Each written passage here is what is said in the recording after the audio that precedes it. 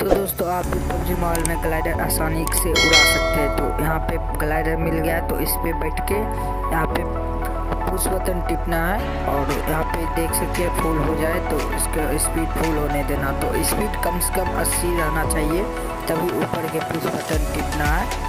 अन्यथा नहीं नहीं उड़ेगा और क्रैश हो जाएगा। तो यहाँ देख सकते हैं, अस्सी प्लस गया तो की ओर पुश किया, देख सकते हैं कितने आसानी से उड़ गया है मेरा ग्लाइडर और ये मैं आसमान की ऊंचाइयों में बहुत ऊँचे, पूरा कोहरा ही कोहरा, चारों तरफ़ कोहरा ही कोहरा है।